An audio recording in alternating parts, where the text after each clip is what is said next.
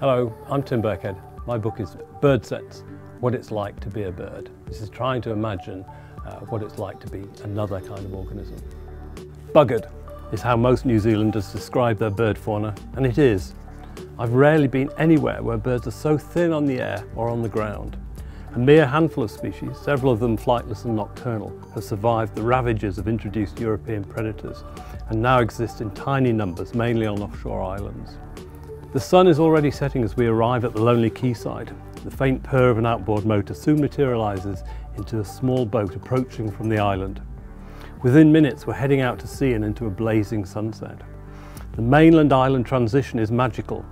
20 minutes and we step out of the boat onto a wide sweeping beach overhung with majestic Pohutukawa trees.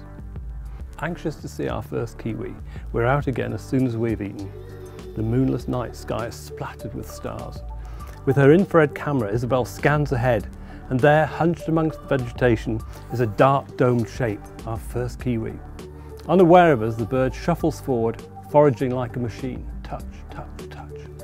As we walk back to the house, the darkness reverberates with the high-pitched squeals of male kiwis. Kiwi, kiwi. What's it like to be a kiwi? How does it feel plodding through the undergrowth in almost total darkness with virtually no vision but with a sense of smell and touch so much more sophisticated than our own.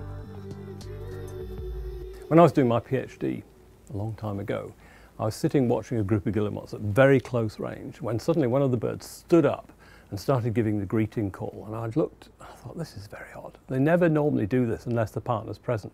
And I looked out to sea, and amongst the mass of birds that were flying backwards and forwards, I could see a speck hundreds of meters away flying towards the colony. And to my absolute amazement, this bird landed beside the bird that was calling. And suddenly my entire perception of guillemots and birds in general changed. You know, not only has this bird got extraordinary vision, it had been able to recognize its partner when to me it just looked like a speck. Uh, the problem was, for me as a behavioural ecologist, there was nowhere to put that little bit of information. It just didn't fit into the behavioural ecology paradigm. So I just kind of stored it away.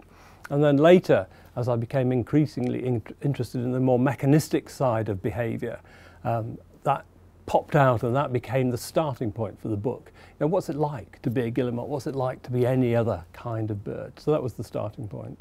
The book's divided into the, the main senses that we have because our only yardstick in terms of what it's like to be a bird is our own senses. That's the only way we can start.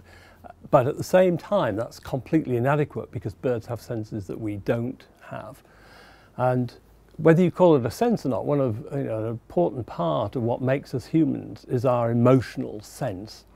And of course, a major question for people interested in animal behavior, uh, but one that's been out of bounds for many years, is whether animals have emotions. So when Niko Tinbergen and Konrad Lorenz were starting the field of animal behavior in the 1950s, they said, this is out of bounds. You know, we're not going to go there. We're not going to deal with emotion.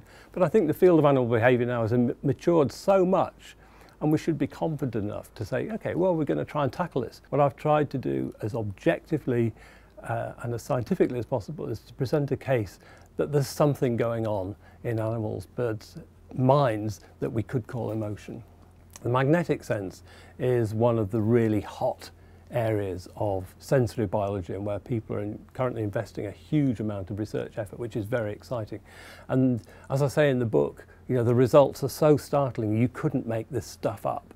And so there's some recent work on um, migrants that are using a magnetic sense to find their way from Europe to Africa um, that suggests that they're perceiving the Earth's magnetic field through the eye. Now you might think, well, that's okay, but it turns out that it's just through one eye, the right eye.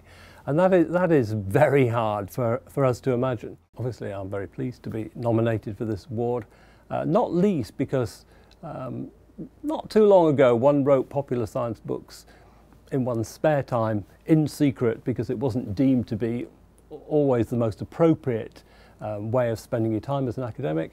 I think in recent times, as we've made this shift towards more outreach, um, suddenly writing popular science has become more acceptable. I actually see writing popular science as just an extension of my undergraduate teaching. It's exactly the same issue.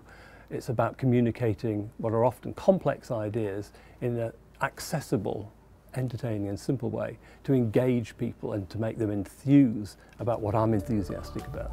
I think the better our understanding of what it's like to be a bird, uh, the more we'll appreciate the birds and other animals that, are, that there are around us and whatever our relationship with those animals, I think that's incredibly important.